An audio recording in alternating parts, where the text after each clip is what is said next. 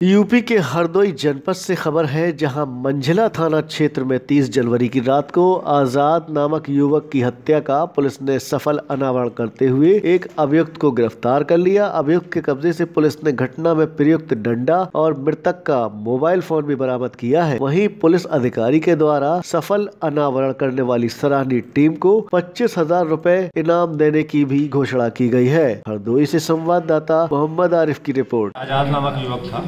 दर्जी का काम करता था।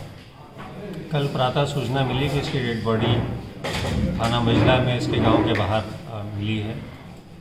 इसके पिता ने गाँव के तीन लोगों को शक के आधार पर नामजद किया था, जिसकी पुलिस द्वारा जाँच पड़ताल की गई।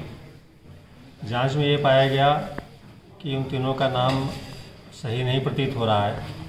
कुछ साक्ष्य भी प्रस्तुत करने के प्रयास किए गए, जिससे कि वो दोषी लगे। लेकिन शंका के आधार पर फिर एस टीम, सर्विलांस टीम और अपर पुलिस अधीक्षक पूर्वी ने अपने अधीन टीम नियुक्त करके इसमें काफ़ी गहन छानबीन की और इसमें यह अभियुक्त प्रेमलाल प्रकाश में आया। और ये जानकारी मिली कि प्रेम की रंजिश में इसके द्वारा आज़ाद की हत्या की गई।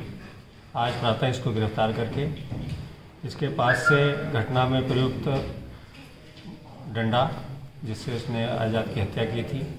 अभियुक्त मृतक का मोबाइल फ़ोन और लाश को ठिकाने लगाने में इसके पैंट पर जो रक्त लग गया था और रक्त रंजित पैंट भी बरामद की गई है।